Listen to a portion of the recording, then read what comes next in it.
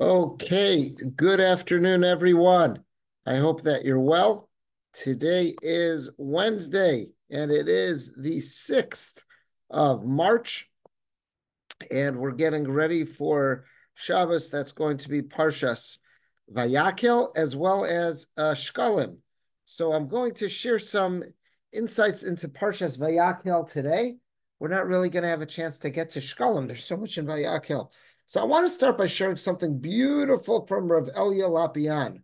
Rav Elia Lopian, but before we get to Rav Elia Lopian's Devar Torah, let's many of us may never have uh, heard of Rav Elia Lopian, so let's get familiar with him. So we're going to first see just a brief bio, and then there's this beautiful picture that's got a. Uh, I finally this week saw a good explanation behind this picture. So let's see. Here's a, a bio about Rabbi Elia Lopian. He was European, Look, when he lived was 1876 to 1970, so he went, went well into his 90s. He was known as Rav Elia, was a rabbi of the Musar movement. He was very well known. He was a Lithuanian uh, rabbi, educated in all the major Lithuanian yeshivas, even though some of them were in Poland, so to say, but that's what's always um, associated with the Lithuanian yeshivas and he became very, very influential in terms of uh, Musar teachings and filling the role of mashgiach, being someone who was really involved with the teaching of, of uh, and ethics in yeshivas. Let's see.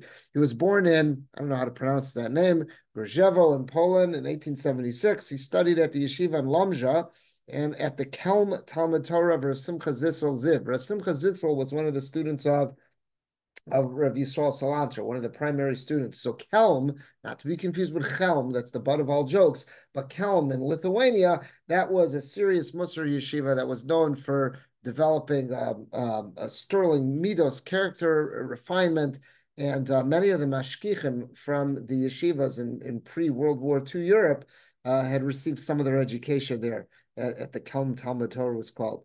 Uh, just to tell you something interesting about Rav Elia Lopian, when I was looking at his Sefer this week in the introduction, it says something fascinating. It says that when he was either nine or 10 years old, there's different accounts, his parents immigrated to America and he utterly refused to join them. Uh, at that time, uh, this would have been at the turn of the century, there really were very few opportunities for yeshivas at that time. And he really, really wanted to study Torah, wanted to learn, and there were yeshivas back uh, where he was living. So therefore, he did not want to uh, join his parents. So here you have a little nine, 10 year old kid. Uh, he refused to go. The parents went off to America. He stayed back in Europe, living with families and staying in yeshivas. That's very, very rare uh, to hear of something like that of a nine, 10 year old. Think about how many kids are homesick at camp. Now think, of, I think this is just different times. Okay, so anyhow, he immigrated to England in 1928. So at that time, he is already uh, he's he's already he's over fifty years old when he moves to England, and he was a Rosh, one of the Rosh Yeshiva in the Yeshiva Eitz Chaim in London. Uh, it says there his wife, her name was Sarah Leah Ratman. She passed away in 1934. Now, if he died in 1970, that means uh, the last 40 some odd years of his life, uh, 50 rather, the, the almost almost 50 years of his life, he was alone uh, shortly after engagement of their daughter, Libat, Rabbi Leib Gurwitz. Rabbi Leib Gurwitz was one of the uh, Rosh Yeshiva in, um, in uh, I, am not familiar with England, so I'm not sure if it was Manchester or Gateshead. I believe it was Gateshead. Okay, in 1950, uh, he left Eitz Chaim Yeshiva, meaning in England, and he immigrated to Israel. So he moves to Israel. That's two years after the Hakama Samadina, two years after the modern day state of Israel is born. And he spent the rest of his life, next 20 years, he was a mashgiach, meaning he was really a, a, a great teacher of, of Musar and ethics at two yeshivas. Uh, Knesset were really that one yeshiva, but it was first located in Zichron Yaakov, later in Kfar Hasidim. Uh, he died in 1970. He's buried on Har. And his work, Lev Eliyahu, that's what we're going to be seeing our first of our Torah from today. Lev Eliyahu it wasn't something that he himself wrote. It was based on his teaching. His Talmidim wrote it. We'll soon see when we get to the cover page. There's a very famous student of his who you'll recognize his name. We'll get there in a minute.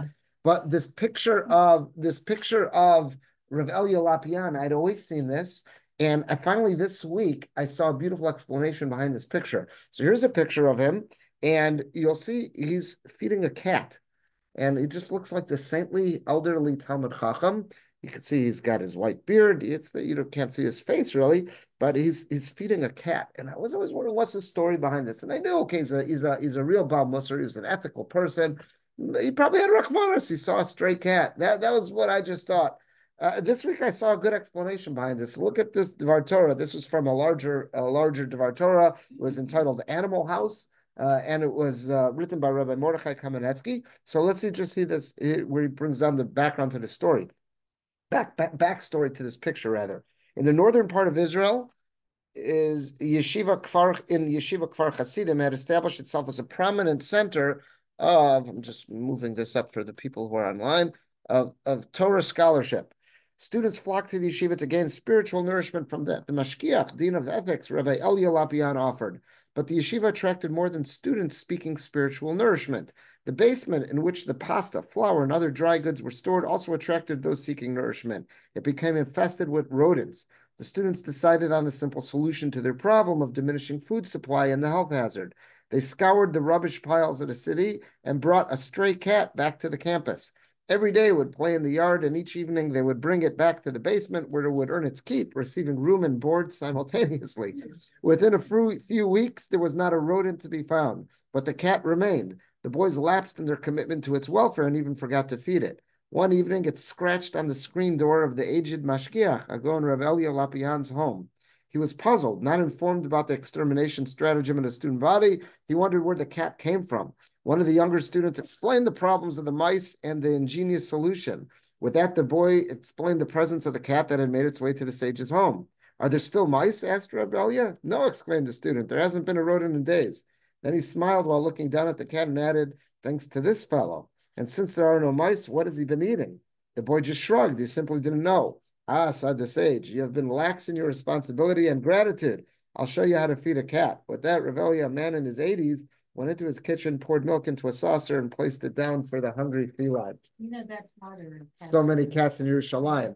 They brought.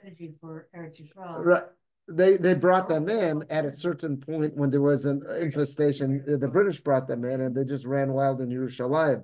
So, so here he was. He was showing the students, top of page two. At that moment, a young student named Kavinsky captured the moment on film.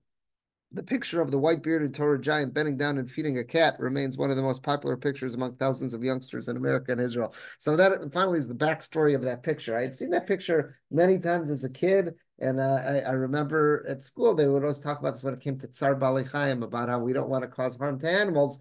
Uh, to show not only do we not cause harm, look at this tzaddik, Revelia Lapian. Here he was, uh, he was feeding a cat, but no one ever knew the backstory of that picture. Now you know the rest of the story, right? Paul Harvey, that was his line.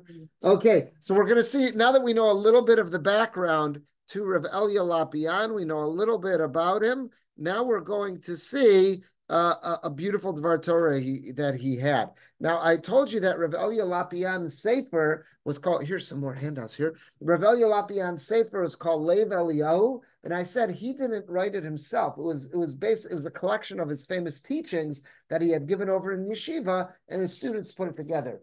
Who was the chief editor of this project? Well, let's look at the bottom of page two. Mm-hmm. There you will see the title page of Lev Eliyahu on Shemos. That's where we're getting this from. Look at it says Sefer Lev Eliyahu, Parsha Satorah, Sefer Shmos, and then it says um, a little bit further down, Me'es, who is this by? Rabbeinu Agon Hatzadak Saba Kadisha, our holder, holy elderly sage, Marna Elia Lapian. Eliyahu, so his real name was Eliyahu, everyone called him Elia. Shirbitz Torah Kishivim Shana. He taught Torah for close to 70 years. Bishivas Hakdoshos Beretz of Chutz both in Israel and in, in outside of Israel, meaning in England as well. Now look at the next line. Nerchu v'sodru b'rachava v'tama. Who put this all together and who edited it and expanded upon it? The smallest of his of the chevra of the students, Shalom Mordechai Akoin Shvadran. This was the famous Rabbi Shalom Shvadran, the Maggid of Yerushalayim, the one who so inspired Rabbi Pesach Krohn, this whole Maggid series. That's all based on the Maggid of Yerushalayim, Shalom Shvadran. He was a student of Rabbi Lapian. He's really responsible for us having all the different Torah of Rav Lapian and Lev Elio. It was that was uh, his his baby. That was his project. It was his passion to to get this in writing and to record it for posterity. Interesting uh, detail. We, we don't often know who was responsible for this project. I'm happy that they uh, they credited him there where credit was due. So let's see what pasuk he's going on. He's going on a pasuk. If you look a little bit further up on page two, it, uh, towards the top of the page, the beginning of the parsha, Vayakhel. So Rav Elyapian takes note of something. We're going to see this pasuk aleph and then pasuk chaf. Pasuk aleph begins. Vayakel Moshe's kol adas b'nei Yisrael. Moshe calls the whole chevra. Everybody's got to come listen. I've got instructions to give out. He says to them, I'm about to share with you this are everything that Hashem commanded everyone to make. And he goes through the instructions again about all the items that were going to be necessary for the Mishkan. He gives them the tziva, gives them the instructions about Shabbos, that even though no matter how important it is to build the Mishkan, Shabbos comes first. That we'll find in the Parsha this week. Now, almost 20 psukim later, Pasachav, when he's done with his little speech, Vayetsu kol b'nei Yisrael, everybody leaves milifnei Moshe, from before Moshe. Okay, that's the pasuk. We see it every year. Let's take a look at page three now, and we're going to see a beautiful idea from Revelio Lapian. And this is going to sound so similar to maybe some of the lessons we've heard from some of our teachers when we were in yeshiva. I'm, sure we can all think of occasions. I, will share some with you soon. But let's see. This is it's a larger piece, but this is the beginning part of it. Vayakel Moshe es kol adas b'nei Yisrael. That's pasuk aleph, and then it continues with pasuk chav after they all he gave his speech, and after they're all gathered, they all left from before Moshe. So Rav Rav Rav Lapian, Rav Lapian was bothered. There's a there's a striking question here. Why did the pasuk feel the need at the end of this little segment here in pasuk Chaf? Why did it have to write Vayetze Milafnei Moshe? that they all left Vayetzu, that everybody left Milafnei Moshe. They all left from before Moshe. When this little episode began, it started by saying Vayakil Moshe Koladas Bnei Israel. Moshe gathered them. So if he gathered them, who are they in front of? Moshe. They just sat to hear the speech, and now they left. I know who they left. They left Moshe. They didn't go anywhere in between. It, it, we know the Torah is very uh, uh careful in choosing its words. This seems to be extra. This seems to be redundant. What do we need this for?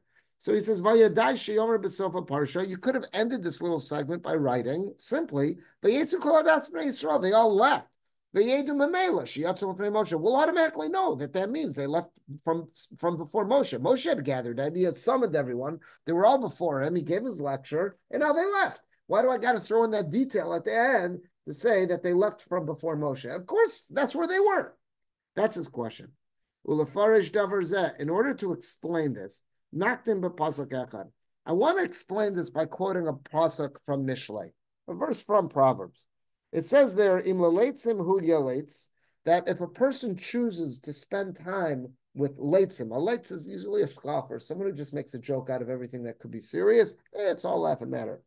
Ula anavim yitenchen. But to those who are modest, he will he will um, he will uh, have grace. Rashi explains this is a very cryptic pasuk. Rashi explains, Perish Rashi, Shimadim nimshach achar If a person chooses to spend time to be in the company of scoffers, we're all affected by our surroundings. So if I choose to hang out around a bunch of scoffers, I choose to hang out around a bunch of people who make jokes out of things which ought to be serious, then I'm gonna I'm gonna be a joker too. I'm gonna scoff. That's just we're all affected. We're all uh, we're all affected by our environment. But but then the pasuk Shlomo Melch's telling us in this pasuk Mishlei, if I choose instead to hang around with humble, modest people, sov masav. In the end of the day, my actions will achieve grace in the eyes of other humans. Meaning, why? Because I their behavior will have rubbed off on me. If I chose to uh, to spend time around people who are humble and modest, they'll rub off on me. I'll start to emulate their ways, and therefore other people will be will will be will take my actions uh, with grace. So so Rav Lapian says that's what's going on in this pasuk. It says Vayetzu kol b'nei Israel milifnei Moshe. Everybody left when they were done hearing Moshe's speech. They left milifnei Moshe. They left from spending time with Moshe. Klomar, what does that mean to say? Shehekiru aleim. It was recognizable about them. If you would look, if you would have seen everybody exiting, eh, you could know right away from the spring in their step where they just were. It was recognizable about them. Moshe. There was something about them. There was a spring in their step. There was something that was that was full of humility, of of uh, being modest, of spirituality. Moshe had rubbed off on them. So it was that's what the pasuk's saying. They all left, and it was obvious about their demeanor, about their behavior, that they had just left from spending time with Moshe. Because very often in life, you can have a person that you see walking on the street, they just left somewhere, but it's not apparent where they left from. Where did they just spend time? I don't know. I don't have video footage. I have no idea where this person was before I bumped into him or her. Uh, but if I see somebody that they can't walk in a straight line, where, where would I think they just spent time? They were at the tavern. That's Simon Muvak. That's an obvious sign. They just left the tavern. They just left the pub. This person's inebriated. They're drunk. So in other words, there are people in this world that you could tell from the way they're walking. You could tell from their actions. Where were they just hanging out? If I see someone, they're just wandering around, and you know they're, you know, you know, that it's obvious they were just in the tavern in the pub. This also applies to the opposite extreme in terms of the good. Ksiv, if the Torah says, Moshe, that the Jewish people left from spending time with Moshe. Lilamed, this teaches us, even if they weren't successful at learning from him. Let's say there were people who just really couldn't follow his lesson. They couldn't follow his, his sheer. Elarak Amdul Moshe, but they spent time in his presence. He was such a positive force. If they spent time in his presence, Kvar Kivlu Yiras Hashem Bekirbam, something changed inside of them. You, we've all had that. We spend time around a good person. It could be someone who didn't teach us Torah, but we all know good people. We spend time around them. We walk away elevated. We walk away just, just as a different human being. There was grace that kind of spilled over onto their faces. Lahakir, and it was very recognizable. Moshe.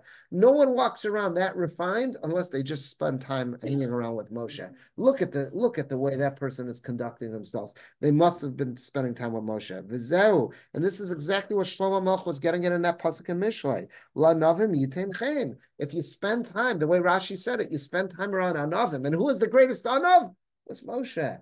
Moshe was Anav Mikol Adam. So if you're spending time around Moshe, you're spending time around good people, people with wonderful character traits, people whose mitos are impeccable, we're going to walk away different. The Kalvachomer ben Benoshel Kalvachomer. Absolutely, you could say how much more so. Shalom duetzel Moshe Rabbeinu Torah Shekibo Misinai. If people had the chance not just to spend time in Moshe's presence, but to actually learn Torah from him, the man who, who accepted it from God Almighty Himself at Sinai, Maneder Hayamaram how how beautiful, how buoyant, how, how brilliant their appearance would be. And all of their actions, all of their all of their uh, they're they're walking. Every step they take and every every uh, look on their face, everything is different when you spend time around someone who's just overflowing with so much wisdom, with so much godliness, and with so much humility. Everyone's a different person. So that's how he's answering his question, right? He started off by saying that the parsha begins by saying Moshe calls, summons everyone, come, I've got something to share. 20 psukim later, we're told they all left Milifnei Moshe. Why? What's the pasuk teaching us? He's telling us because when they left, it was so apparent that they had obviously just come from Moshe. The same way a shikar, the same way we could tell about a, a, a drunkard that it was so obvious that guy just left the pub. These uh, Klal after spending time with Moshe, you know, it, it, no question. It's obvious they just spent time with Moshe. That's the effect of hanging around, spending time in the presence as great as Moshe. What effect that could have on us. Now look what Rav Lopian does with this. You got to remember his position in yeshiva uh, for for close to 50 years was well when he was in England he was also a Rosh He was giving shiurim Gemara shiurim and everything. But in Israel those last 20 years of his life his primary responsibility was a teacher of ethics. He was a mashgiach he was given Musar Shmuzin. So now look what he does with this lesson how he gives it to the yeshiva students. And again this is I think we'll all recognize uh, uh, being told this by our teachers our parents at some point in our lives. Look what he says here. Kiddush Hashem Mayata, now that we know this is true, that our actions, our behaviors, that shed lights on where we just spend time. So he says, look at the opportunity and the responsibility we all have. Mayata yesh gamanu. It's important, it's crucial that each and every one of us need to know.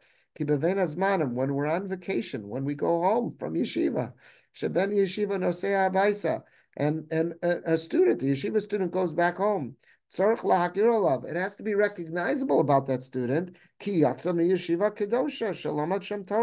Our actions have to speak volumes. Anyone, anyone should look at us and see the way we're behaving, conducting ourselves, speaking to others, what we're doing with our spare time. It should be recognizable. It should be instantly recognizable. Oh yeah, that's someone who obviously spends time in yeshiva. The same way that when people left Moshe that there was chaim, there was graciousness that was just oozing out of their face because they were spending time with Moshe, the hadar svivasav, and based on the the glory of their surroundings, the whole tenua tenua shalom. So a student who comes home from yeshiva, all their actions, their activities, everything needs to demonstrate this. Because people are going to be looking at, at, at, us and people are going to look at those students and say, well, where did they spend time? Well, what does that tell me about yeshiva? What does that tell me about Torah? What does that tell me about people who spend time studying? And God forbid they shouldn't cause a chil Hashem. Lomar, that cause to cause people to say, Hine, im uh, am Hashem elo yeshiva yatsu. This is someone who claims to be from the nation of God and he just left yeshiva. And now look what their appearance seems to be indicating. If God forbid they're up to no good, if they're not conducting themselves wisely, what's that going to say about, about spending time uh, communing with HaKadosh Baruch Hu and His Torah and in, in yeshiva? How many times did we go on? I remember this as a kid. We'd go on a, a, school trip or a camp trip. And one of the rabbeim, I don't know if it was always a rebbe, it could have been the principal, it could have been a counselor, before that school bus would leave or before we'd get off that bus, remind us again, we're all running around with our blue Hebrew Academy yarmulkes on, or whatever it was, you know, it, it, it, or it was the girls too, whatever it was that had their, the, you know, had the, the school name on their shirts, whatever it was. Remember, it's our, everyone's looking at us. It's our responsibility to make a kiddush Hashem and not chas v'shalom Hashem. I, I remember that speech. How many times did we hear that? We heard that plenty. And here's Rav Lopian He's saying this, and he's not saying this to little kids. He's saying this to grown people. But again, it's important to it's important to hear that we're all going to be judged, and Torah is going to be judged. Yeshiva is going to be judged. Everything's going to be judged by the way its students behave, because where we were, our actions reflect where we came from. It's the same way that's true about that, that drunkard staggering in the street. And to the other extreme, people who just left Moshe, their, their actions speak volumes about where they spend time. So uh, you got to be careful. Got to be careful. That's what he's reminding fellows before they go home for a vacation. Let's just see one more paragraph. He says, he quotes here a very famous saying of Chazal. Kfar Amr Chazal, our sages told us, he says it's in Yoma, there's other places well. This is the famous one. Ma'u Kiddush Hashem. What's the definition of glorifying, sanctifying God's name? what that which the Torah states in Devarim, Hashem and we're supposed to love God. What does that mean? That the name of God, God should become beloved through me. So, in other words, I have to cause people that they'll, love the Torah, they'll love God, they'll love Judaism because they see how upright and how upstanding I'm behaving, how I'm conducting myself in such a uh, honorable fashion. Vishona a person should study Torah, Mishamish Tamid Chacham, spend time around sages, V'diburo v'nachas, and when I speak, my speech should be refined and it should be in a nice, pleasant manner, imabrios, when I speak to other humans. If I don't speak nicely, if I'm not refined in the way I conduct myself with others, and I'm not honest with others when I'm engaged in any kind of commerce, what will people say? Uh, the Gemara goes on to say, Nebuch, people will say, if that's the way this guy's behaving, who needs to have any uh, anything to do with the Torah? Who needs to have anything to do with rabbis? Who needs to have anything to do with God? This is what it produces. I don't need this. But the converse is that if someone says, wow, this person's so refined, the person's so honest, the person is so respectful, I, I gotta, how do I get some of that? Oh, it was Torah? It's Hashem? I gotta get on that bandwagon. So it says, so he says, but again, if someone doesn't act properly, no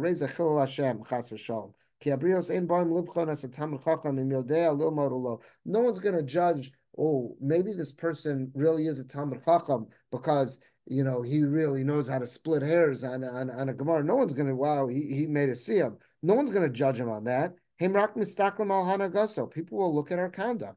Do we speak pleasantly, Mabrios, with other humans? Umaso matonu bemuna. Am I honest in all my commercial actions? That's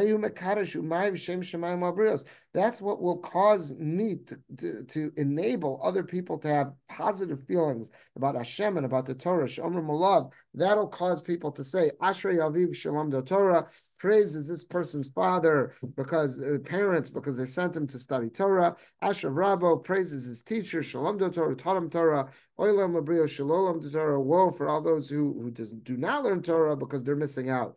And God forbid it's the opposite, it'll be the opposite. That'll be a terrible chol Hashem. So Rav Lapian is using this uh, uh, this to, to remind students about the responsibility we all have. We're all ambassadors, and it's not just students. Every single one of us are ambassadors. Our friends know we're Jewish. Our colleagues know we're Jewish. People on the street, our neighbors know we're Jewish. People in the stores know we're Jewish. We have an opportunity. We have opportunities to make a Kiddush Hashem, and God forbid we have opportunities to make a Chil Hashem, to desecrate God's name. I always say uh, if we are going to act in an upright fashion, we should let people know that we're Jewish and that we're doing this because uh, because we're Bible observing Jews. Someone just recently uh, told me that she had a, an incident, well, a long story, but basically something went wrong with Target.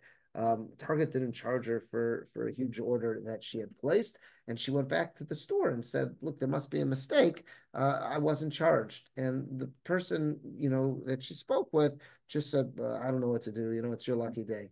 So she called me saying, like, you know, is, is that good enough? Like that one clerk said that? Like, do I have a responsibility anymore? So I said, look, I would go to the website, get the 800 number, or, or speak to the store manager. I don't know if you're going to find the manager. Call up, say you want to speak to someone, say, hey, this is what happened. What would you like me to do? Put this on them. Put it on the manager. Put it on the 800 number, the person you're going to speak to. If they tell you, okay, it was our mistake and you're good, okay, you did your best. If they say, wow, thank you for being honest, yeah, you really ought to pay. Can I have, and you were prepared to pay it, you should do it, but make sure to tell them, I'm doing this because I'm a Bible observant Jew. And as you're already going to do it, don't lose the opportunity to be an ambassador for Torah, ambassador, make a Kiddush Hashem out of it. You know, why should everyone just say, okay, wow, you know, uh, that's the golden oldie America that I know and love. Okay, that is true. Okay, we all love, we we we long for those days where everyone was honest, but make a Kiddush Hashem out of it. Let them know that you're calling and you're doing this because you're a Bible observing Jew and that's what you want to do. I don't know how the story ended. I, I have to follow up with her to say, to find out what did what did Target uh, end up saying at the end. What's that? Yeah, I've had the craziest. I've told them a lot of times, and they say we have no mechanism in place for you to pay. So, the, and I'll say, so you're telling me I don't have to? And they say, no, but and I'll say, but I just want to be honest because again, I'm a Bible believing Jew, and, and that's that's and they'll go, well, thank you, that's very admirable, but again, we appreciate, but we just have no mechanism in place. Okay, you did your best, and at the same time, you you make you try to make a kiddush Hashem out of it. I had that once. I ordered I ordered some items, and, and they were glass, and they were packaged awfully. So it was let's say three items. So um, two of the three, let's say, broke. So one of them was still intact because it was wrapped in bubble wrap. The other two weren't. They, they smashed. So I go online and you know I click to say that okay, yeah, the items broken in shipping. There's no way to say that only two out of three items broke, and one was still intact. So they refunded me everything. So again, I finally found an 800 number and I called to let them know. I said, no, no, no. I said, when I said it broke, only two out of three broke. One was still intact. I shouldn't have a full refund. And they tell me like, uh, you know, listen, you know, you're making us crazy. We, there is no mechanism in place to do what you want. You got a full refund. So I, I, I kind of went through this a couple times with the person. Finally, said, like, I, I said, I got to remember that. Uh, I said, let me just make it clear. The reason why I'm doing this is, you know, I'm a Bible observing Jew, and I, I want to make certain I'm being honest. They said, well, that's really, really admirable. Thank you. But again, there's just no, there's no method in place. But again, if you're already going to do it, you know, make it, make a Kiddush Hashem out of it. So that was what I was, uh, that was my advice. But anyhow, that's, I thought that was a beautiful piece from Revelia Lapian.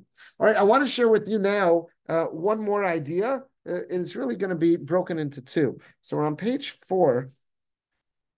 On page four. Yeah, page four. We're on page four. Uh, we're going to take a look a little bit later in the same parak so I'm going to share with you an idea that I remember hearing this in in yeshiva from from Rabbi Leibowitz, from the Rosh Yeshiva there at Chafetz Chaim, but I've seen many others make this point as well. And then I want to piggyback off it, uh, you know, see some share with you something that I I saw Rabbi France from Rabbi Left that fits very nice with this. So let's see, we're on page four. A little bit later in that same parak, after it goes down the list of who donates what and and which parties were, you know, really um, you know, a, a, lot of items, there was no way to attribute it. Just says the people brought this, the people brought that. But there are a couple items that are attributed directly to the Nisim, to the princes, to the chiefs of each Shevet, that they got up and they decide, we're not leaving this to the masses, we're going to do this on our own. So let's see what those were. So Chav Zayin and Chav Ches, two psukim. Chav Zayin, and as far as the princes or the chiefs of each Sheva go, it sounds like they, they pooled together Heviu as Avnei Hashoam ves Avnei Milum. They brought those precious gemstones at the Kohen Gadol. He had one on each shoulder, and then he had the twelve on his chest on the Choshen. Leifodo Choshen. They they donated those precious gemstones, and also also rather ves Habosam ves Hashemen. They donated all the spices and the oils. Lamaor that were going to be necessary. That, that was the oil, uh, the ves Hashemen Lamaor, all the oil that would be necessary for the lighting of the menorah ulashem and and for the oil that would be needed for the anointing oil, ulaktaris samim, and for the ktaris. Now again, it doesn't tell us for how long. They needed that was stuff they needed on a daily basis. They needed oil on a daily basis. They need katoris on a daily basis. It doesn't say how long that initial donation was meant to last for. Was that a, a week's worth, a month's worth? I, I don't know. I, am sure the Mefarshim might explain that. But it seems like they gave the, the first bulk, like Costco, like pallet, you know, of, of oil and spices that would be necessary uh, for this. Again, I, I don't know how long. I don't know if that was a commitment. We'll take care of that every year. I don't know. What we do know is that they definitely gave the gemstones that were needed for the Kohen Gadol's uniform, for his shoulders and for his chest plate. Now, what do you notice about the word Nisi'im? See in Chav Zayin, the first word, Nisi'im, there are some yuds missing. If it was spelled Malay, there would be a yud before and after the aleph. Right? We have nakudos, so we know it's supposed to be pronounced Nisi'im, but those yuds are missing. And if you look in the Torah, it's not just our chumash that I cut and pasted here that left out the yuds. The Torah left out the yuds. And it's deliberate. And we're going to see that Rashi quotes a Chazal, Rashi quotes a, a, um, a, a medrash that tells us exactly what, that's no mistake, that Hashem, our Masorah is that when you write your Sifrei Torah, you're not supposed to have a Yud in there. Even though Nisi'im usually has two Yuds before and after the Aleph, here our Masorah, our tradition is, our Torah Shabbat is, that when you write the word Nisi'im in Parshas Vayakhel in this spot, leave out the yuds. Why? So let's see.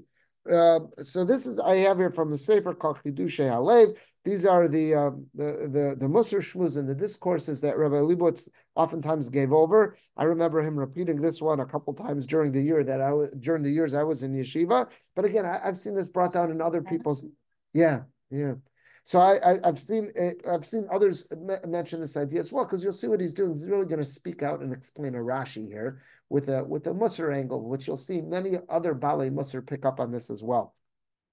So he quotes the pasuk there, Chav Zayin, that in Nisiim heviu es avnei shom es avnei miluim leifor lachoshen. That the Nisiim they donated those precious stones that were going to be on the shoulder and on the chest of the Kohen Gadol. Now here he wrote Nisiim when they put the sefer together as it should be spelled. You see a yud before and after the But again, up above in Chav Zayin, you see that's clearly not the way the Torah spelled it. It's not an accident. So let's see. He starts by quoting Rashi. Because of Rashi, Rashi was again. Rashi's not making this up. He's quoting the Medrash. Amar of Nasan, Maro Nisiim lihisnadev b'chanukas habayis betchila. Why, when it came time to let's say bringing the animals, uh, when when the uh, when the uh, chanukas habayis takes place, so they're gonna they're gonna donate the animals right away. Uvemalechas hamishkan. Yet when it came time, and that's what we read, you know, Hanukkah time, the Nasi for every Shevet brought this korban and that korban. So the Nisim were the first ones to jump forward with donations when it came time to inaugurating the Mizbeach when the Mishkan opens up. But as far as donating the raw goods to build it, Uvemalechas hamishkan lois nadvu betchila. They were not the ones who first jumped up. We first read about how all the people donated, and then the Nisim, these are the items that they donated. This was the mindset of the Nisim. Let the masses donate. Let them do the work that they're able to do. And whatever is lacking when they're done, when the Hamonam, when the you know when when the masses get done with their donations, whatever is left, whatever uh, is is remaining, whatever is missing, I should say, anu so we will fill in that that um, that missing amount. But they were surprised because everyone donated enough. There wasn't all that much that was lacking. Shenemar, because it says. The pasuk states that there was there was plenty. There was plenty of material donated. Arun Nasim, so now they start to panic. That said, we were saying, okay, let's take the back seat. We'll be here to fill in the blanks. But now it looks like the people did everything. Malenu lasso. So they got all nervous. They said, uh oh, we missed the boat. What's left for us to do? So then they, they saw, okay, there were still a couple items missing. Those gemstones were missing, and the oil and the spices were missing. But as far as all the other building materials, it had already been brought. So then Aviyu es Avnei Shoam, that's so that, that's why they brought the gemstones, the oil, the spices. So then they learned their lesson. They said, okay, here we missed the boat. There was a lot more we wanted to give, but we didn't have the opportunity. So when it comes time that there's a, a call goes out for, for donations to come in when the Mish, Mishkan first opens and they need to bring them the korbanos, they're the first ones to respond. They said, we're not, we're not going to lose that opportunity mm-hmm. again. So it says, uh, Rashi ends by, again, quoting the Medrash, Ulefisha nis atzlu. What does it mean to be an atzel? Be lazy. Since they were lazy, mitchila, since they started off being lazy, when it came to the donating items for the Mishkan, nechsara os mishmam. That's why they lost the yud from their name, v'hanesiim ksiv. That's why it writes v'hanesiim without yuds. That's why if you look back in the beginning of Chav Zayin, there's a way to say it's a slap on the wrist, teach you a lesson. For all eternity, you're going to be recorded as Nisim. You're not complete. You don't have those yuds. That's a slap. That'll teach you don't pass up opportunities. When mitzvah opportunities come our way, don't be lazy. That's what we're going to learn from the Nisim. That's the medrash that Rashi quotes. So he says here, Rabbi Lewis speaks it out. You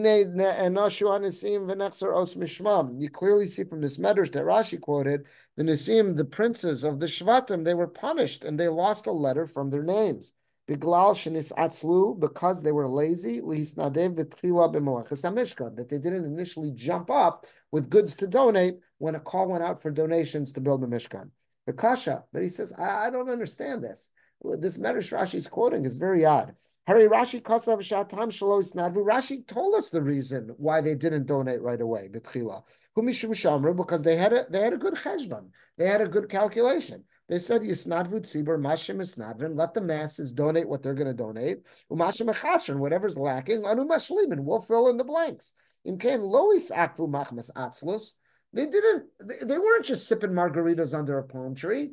The reason they didn't jump forward was because they said, we want the masses to donate, and whatever they're not able to do, we'll write a check. We're, we're, we're ready and able and willing to donate whatever is missing. That doesn't sound like atzlus. Lazy, my definition of someone who's lazy is that someone, as I said, they're sipping margaritas. Everyone else is running around doing work, and they just got there. They got that little umbrella on the toothpick on top of it, and they're just chilling out. That that would be an atzlus. This isn't an atzlus. They had a very calculated maneuver here. They said, let the masses give, and whatever's missing, it could be millions of dollars that's missing. We will write the check. That's not atzlus. How does the Medrash call that atzlus to the point uh, that it's laziness, uh, sloth, sloth, it's like sloth-like behavior, and now they're going to be punished for it, that they lost a yud.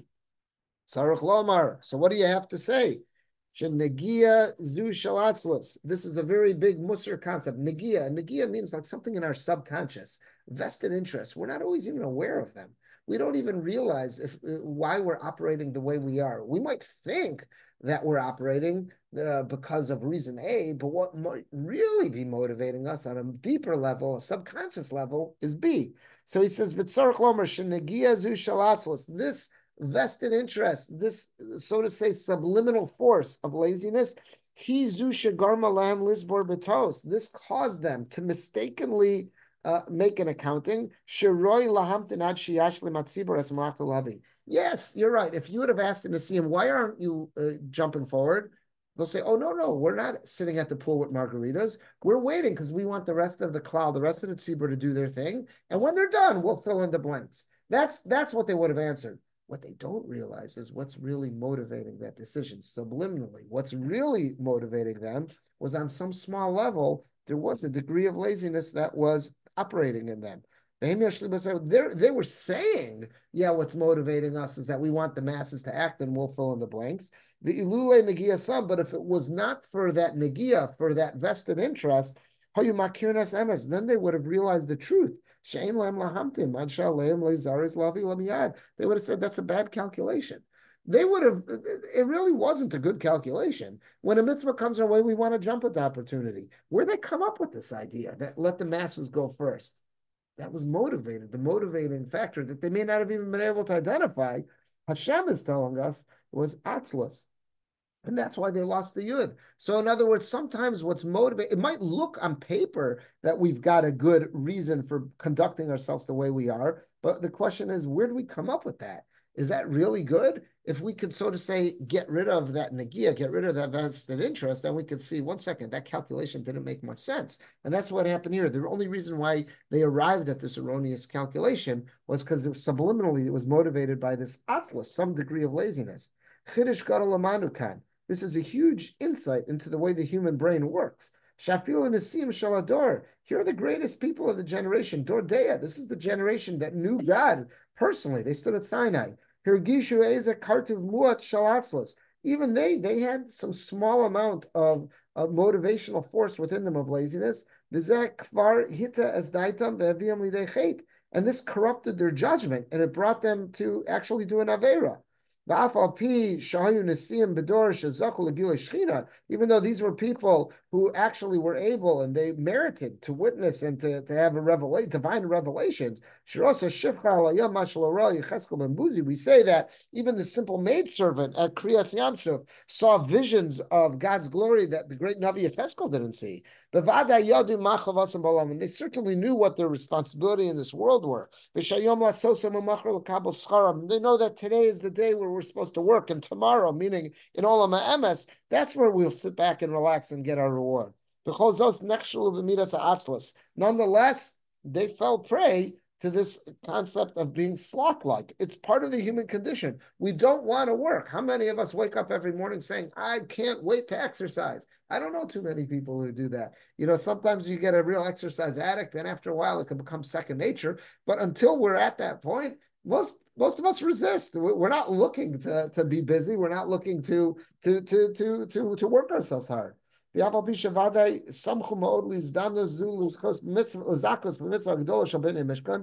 though they were certainly happy to be part of the mitzvah of building a Mishkan, because even the simple folk got excited about this. So certainly they were excited. It only took a little bit of effort to get involved in this mitzvah. Still, once there was a little bit of atzlus, of this laziness that kicks in, lo nitzlu izdanus nadirazu. They weren't able to act on this motivating force that the rest of Klal Yisrael was acting on. Last piece on top of page five. So this is at the end of his piece. He concludes by saying, what comes out of all this? Shafilu Olam. Someone could be really great. Someone could have spent a lot of a lifetime working on themselves. Tzaddik and Chasidei Elyon, Hergishu Hergish Muat Shalatzlos. Still, innate within the human being is there's a drive within us that we just want to take it easy. We can't even we can't even relate to this amount that they had. These were great people. They they had seen Sinai. They they were the Nisim. Certainly was a very small amount, but nonetheless, even that small amount was able to corrupt them. That corrupted their thinking, made them come up with an erroneous calculation. And it, and it prevented them from getting involved in one of the greatest mitzvahs of building a Mishkan. Even when there was incredible motivation to get involved. So now we can say about ourselves how easy it is for us who are nowhere near on the spiritual plateau as those giants, how easily it is for us to get caught up in Averos and come up with the craziest calculations, based on the fact that somehow a motivating force within us is to be lazy. So we have to double check. We have to ask ourselves. I might come up with a calculation mm-hmm. why I'm not getting involved, why I'm not doing this mitzvah, why I'm not doing this. And it might I might have the most eloquent explanation for why I'm not getting involved. But what I really need to do is push the buttons and ask myself, come on, Males, be honest with yourself. Is it laziness? Is that the truth? Oh, you just had this really eloquent speech about you don't want to do this. You don't want to get involved. Is it laziness? Come on, be honest. Let's be honest with ourselves. I remember we used to always call that pushing the buttons. And there's it's like, you know, to question ourselves. Just make sure, is this is this motivating? Is this playing a role in my decision-making process? If we don't question ourselves, if we don't ask ourselves, we could fall victim to the same thing that the Nisim fall victim to here. They had a wonderful explanation about why they weren't getting involved in the building of the Mishkan. But at the end of the day, Chazal saw that it was motivated by atzlus, by some degree of laziness, and that's why Hashem gives slap, takes away the yud from their names. I, I remember hearing this in yeshivas, you know, on many occasions there, and this idea, this idea that we should ask ourselves sometimes uncomfortable questions to question our motivations and ask ourselves if I'm not doing something, if I've made a decision, and I might have a great speech about why I'm making this decision, but to ask myself some uncomfortable questions. Come on, uh, uh, what's really motivating me? Am I motivated by this, this? I, I remember a great example we used to always quote in yeshiva is that there's a medrash that says that when Yaakov Avinu is going down to Mitzrayim to finally meet Yosef, because he's gotten word that he's alive. He stops, he brings korbanos, and one of the things he says is he starts questioning himself, saying, "Am I just doing this because I'm a glutton? That I, I, ran out of food back up in Canaan, and I know that there's food in Mitzrayim. Why is he doing that? He's going there, isn't it obvious? He's going there because Yosef is there and he wants to be reunited. So I remember in Yeshiva, they would always say about that's he's pushing the buttons. That's exactly what he's doing. He's questioning himself, just trying to see what's my real motivation. What's really uh, am I? Uh, my I, I know I've got a great speech about why I'm leaving Israel and why I'm going down to Mitzrayim. But what's really motivating me? Is this lishma? Is this for the right reasons? Or am I just hungry and I know that I can get food down there? What, what's really motivating me? So I mean, that's the idea. So same thing here is that if we've come up with an explanation, and especially I see the rest of Klal Yisrael doing something, and I'm not. I'm sitting on the sidelines. I got to ask myself, why am I not doing what everyone else is doing? Okay, I got this great calculation. Let everyone else do, and when what they can't, I'm going to step up and do. But what's really motivating me? That's what should have been asked. That's what they didn't do here.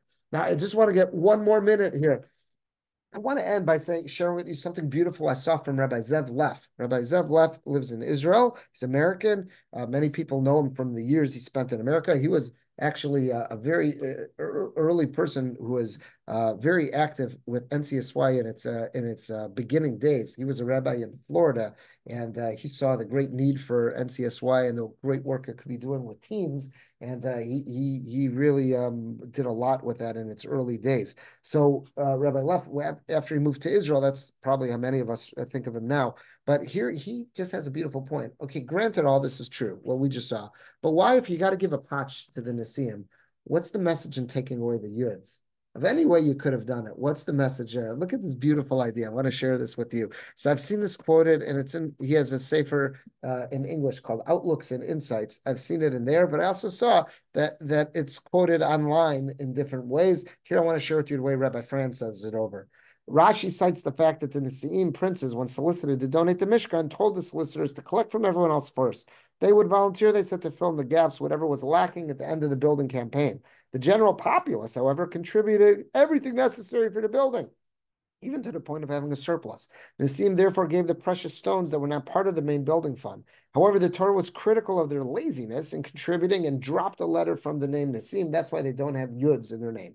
We would look at their offer as very admirable if we were conducting a building fund campaign and receiving an offer from a donor to make up any deficit remaining at the end of the campaign, we would consider that a tremendous offer. The Torah, however, is critical of the actions. What was wrong with their approach? The problem with that approach is that they should have realized that in building the Mishkan, there could be no such thing as a deficit. A deficit means a lack, something was missing. But God did not need our money in the first place. He merely gave us the opportunity to have the merit of participating in the mitzvah.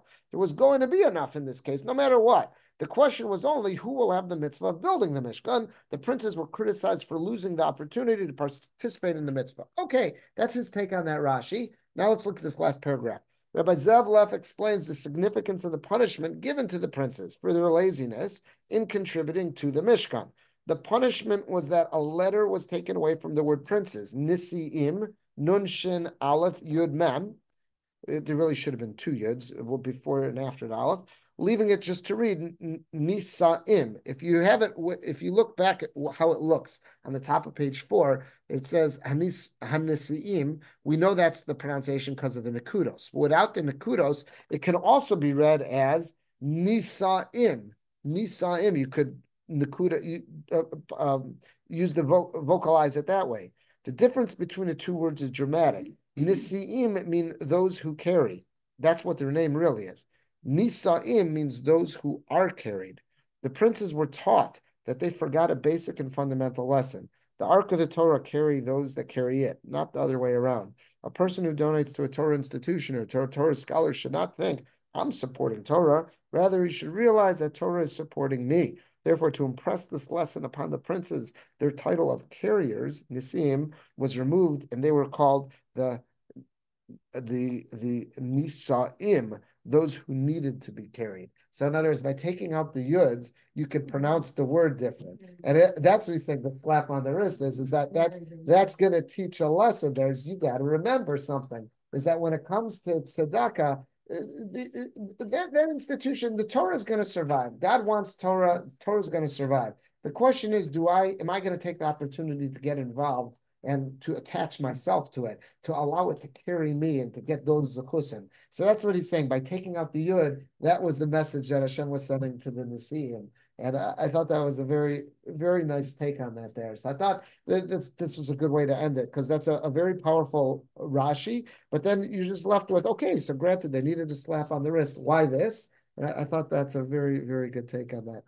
All right. I want to wish everyone a good day, a good Shabbos.